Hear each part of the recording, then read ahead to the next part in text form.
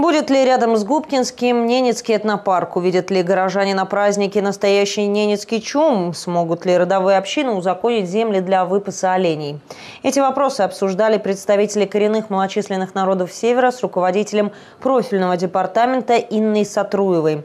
Личный прием для губкинцев прошел накануне в режиме видеоконференц-связи. О своих проблемах рассказали представители родовой общины Апыдю Ночей. Основная деятельность общины – оленеводство. Актуальный вопрос – социальная поддержка тундровиков. Организация некоммерческая, деньги мы не зарабатываем. Имеем небольшое поголовье оленей. Имеем людей, которые хотели бы этим заниматься. Там у нас э, молодые люди. Вот.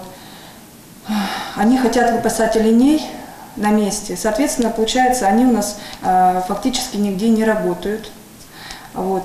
Выпасают оленей общины. Раз они не работают, заработной платы у них нет.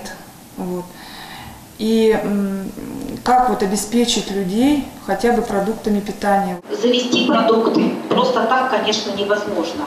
Никто, э, или нужно искать спонсора. Необходимо просто общине думать о том, как участвовать в производстве, а, как выходить на а, получение субсидий, а, в том числе и федеральных.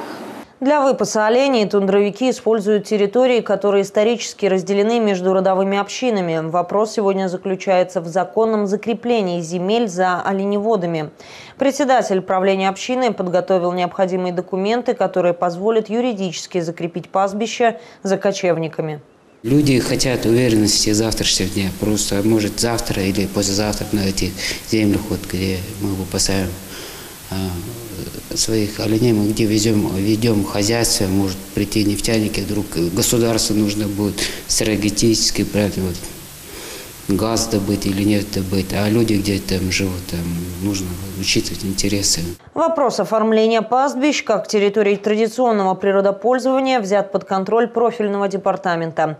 Представители коренного населения обсудили также идею создания этномузея под открытым небом. В стадии разработки уже этнопарк открыт, община моя, вот она будет э, на базе общины этнопарк. Вот, а вот, задавал, чтобы на, я хочу землю взять под рекреационной деятельности, чтобы как бы недалеко от города. В ходе личного приема директор департамента пообщалась с губкинскими представителями ассоциации «Ямал-потомкам». Общественники поделились в том числе и планами об участии в праздничных мероприятиях, посвященных 30-летию города. Инна Сатруева заверила, что департамент постарается оказать содействие и помощь по всем вопросам, с которыми обратились представители коренного населения из Губкинского.